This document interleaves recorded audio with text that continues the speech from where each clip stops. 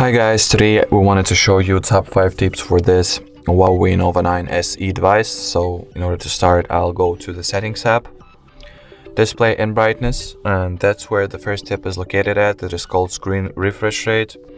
So basically the phone allows you to choose uh, from three possible options. The first one being the standard modes of your screen refresh rate, which gives you 60 Hz of the refresh rate and uh, better and longer battery life.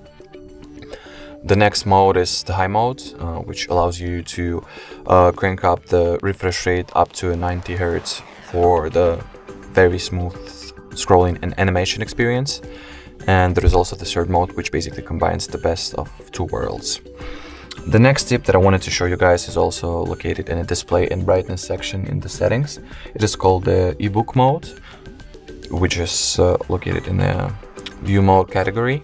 You just uh, once once you enable it, the phone basically becomes black and white. The color scheme becomes black and white, and if you are using your phone as an electronic book or you are going to have some very long reading sessions or you just basically all you got to do in the next uh, in some period of time in the future you you, got, you will just uh, read a lot of text i highly recommend on using this mode since ebook mode just uh, decreases the eye fatigue and allows you to read a lot of text and not uh, get your eyes tired should i say it like that the next tip is uh, related to the biometrics.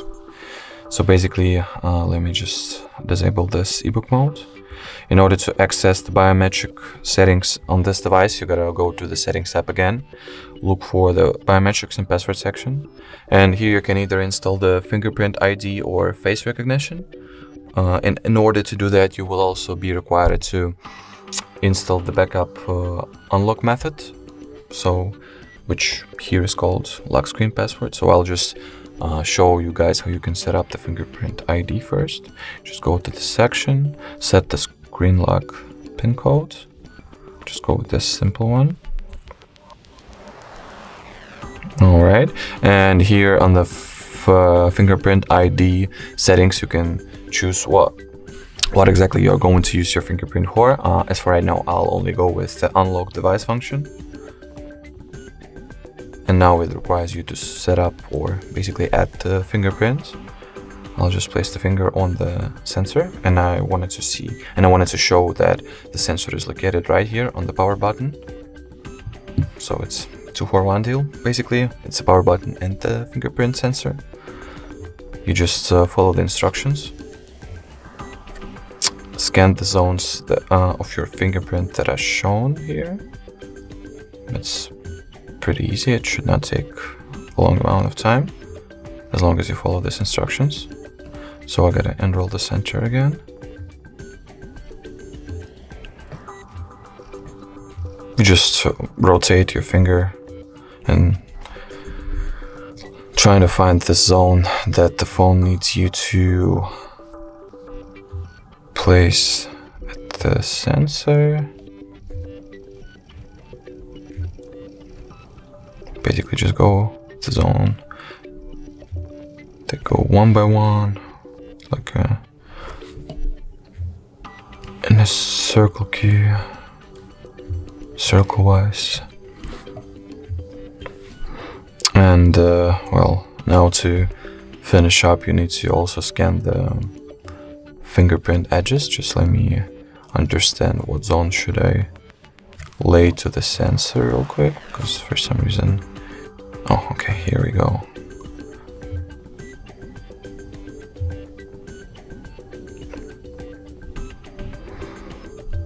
It also, as, as you can see, it can take quite a while since the sensor is very, very precise and it wants to scan an entire fingerprint, an entire fingerprint very, very precisely.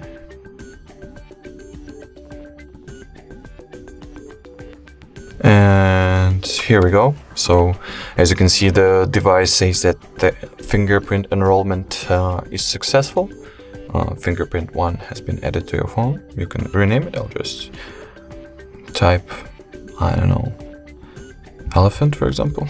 I'll name this fingerprint elephant. And let me show you how this works. So once I'll try to unlock the phone with any other finger than this one, it will not let me to. So as you can see, it says fingerprint not recognized. This one, fingerprint not recognized. And as you can see, once I lay the actual finger that I've added the fingerprint from, it just instantly unlocks the phone. So this one works. Uh, I'll also show you real quick how you can set up the face recognition. In order to do that, you gotta, well, enter the pin code. Let me do it off screen real quick.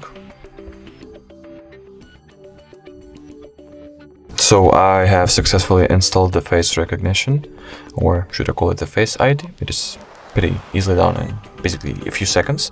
So let me show you that it works.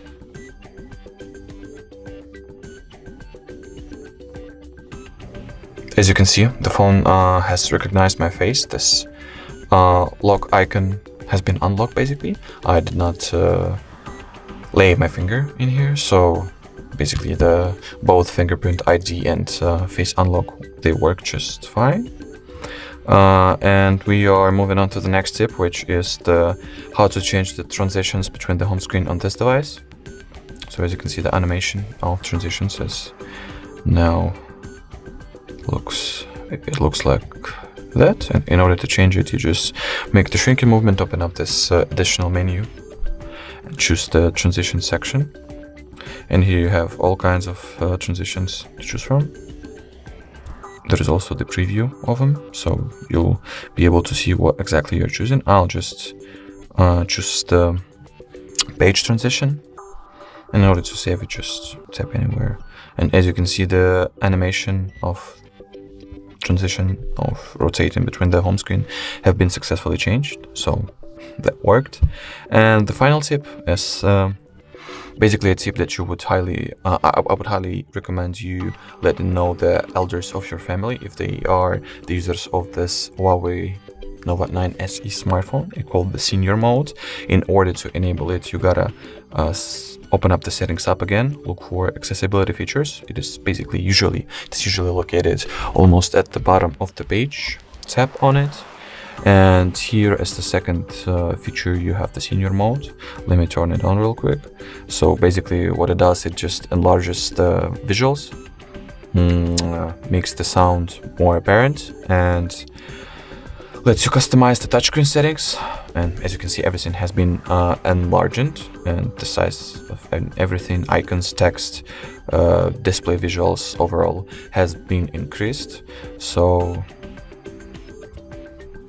I think the elders, the senior people, might be very glad to use this option and to enable it. This this month because for them it will be way easier to use the phone or uh, basically this feature is also very useful for people who have some um, vision problems.